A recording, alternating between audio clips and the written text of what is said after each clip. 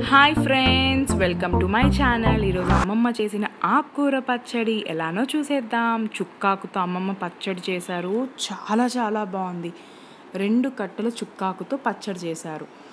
మనం అందరము ఆకుకూరని డిఫరెంట్ డిఫరెంట్గా చేసుకుంటాం. ఆకుకూర ఫ్రై లేదంటే ఆకుకూర పప్పు.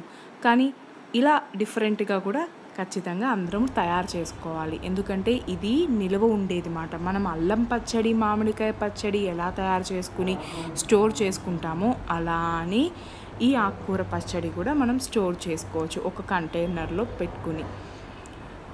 రెండు కట్టల చుక్కాకుని మనము కట్ చేసుకోవాలి. కట్ చేసుకుని వీటిని ఇప్పుడు మనము వాటర్లో వాష్ చేసుకోవాలి.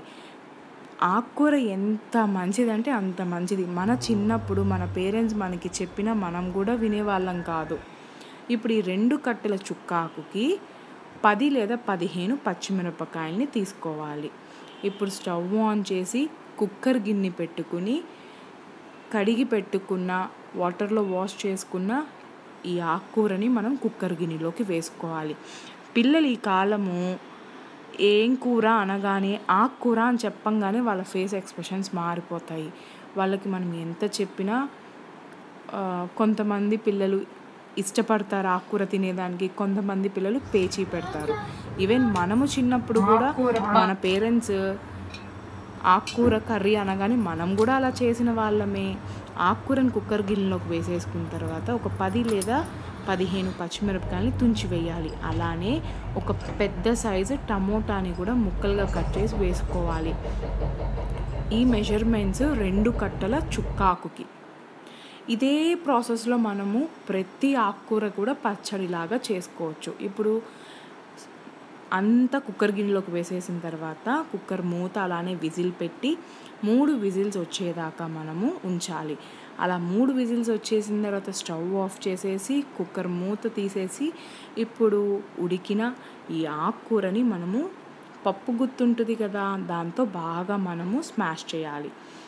తగినంత ఉప్పు మనము తినేదాన్ని బట్టి తగినంత ఉప్పు వేసుకోవాలి. అలానే ఒక హాఫ్ స్పూన్ పసుపు వేసుకోవాలి. ఉప్పు పసుపు వేసిన తర్వాత పప్పు గుత్తితో మనం బాగా స్మాష్ చేయాలి. మనం మామూలుగా పప్పు లేదంటే సాంబార్ ఆకుకూర పప్పు ఇలా చేసినప్పుడు కంపల్సరీ మనము పప్పు గుద్దితో బాగా మిక్స్ చేస్తాం కదా అలానే బాగా మనం మిక్స్ చేయాలి. స్టవ్ ఆన్ చేసి ఇప్పుడు మనము సరిపడా బాండీ పెట్టుకుని కొద్దిగా ఆయిల్ ఎక్కువగానే పడుతుంది. టీ గ్లాస్తో హాఫ్ గ్లాస్ ఆయిల్ని వేసుకోవాలి. ఆయిల్ వేడెక్కిన తర్వాత రెండో మూడో ఎండుమిరపకాయల్ని తుంచి వేసుకోవాలి. అలానే ఎండుమిరపకాయలు వేసిన తర్వాత నాలుగో ఐదో వెల్లుల్లి రెబ్బల్ని దంచి వేసుకోవాలి. మనము పచ్చడి ప్రాసెస్కి కదా అందుకని కొద్దిగా ఆయిల్ ఎక్కువ పడుతుంది. నార్మల్గా తాలింపుకైతే ఇంత ఆయిల్ అవసరం లేదు.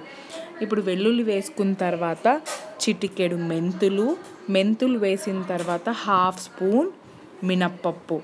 మినప్పప్పు వేసిన తర్వాత హాఫ్ స్పూన్ జీలకర్ర కొద్దిగా ఆవాలు అలానే కరివేపాకు వీటన్నిటిని వేయాలి.